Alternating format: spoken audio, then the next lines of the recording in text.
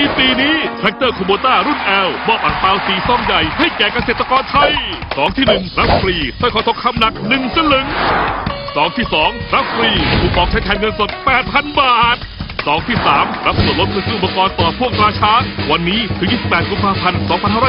2553 ยังไม่หมดซองที่สี่มีสิทธิ์ลุ้นไปญี่ปุ่นฟรีกับคูโบต้าหมดเขต 31 กรกฎาคม 2553แทรกเตอร์คูโบต้าเพื่อเกษตรกรไทยอยู่ดีกินดี